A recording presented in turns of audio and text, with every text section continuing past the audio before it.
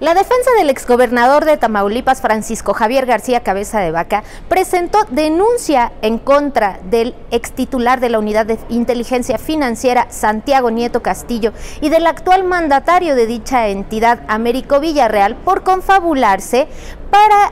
presentar acusaciones en su contra y así entregarle el control del Estado al crimen organizado. En conferencia de prensa realizada en la Ciudad de México, el abogado Javier Coello Trejo informó que la denuncia incluye, además de al gobernador de Tamaulipas y a Santiago Nieto, a diversos funcionarios, principalmente de la Fiscalía General de la República y al juez federal Iván Seferino, que fue quien emitió la orden de aprehensión en contra de García Cabeza de Vaca cuando éste aún tenía fuero constitucional.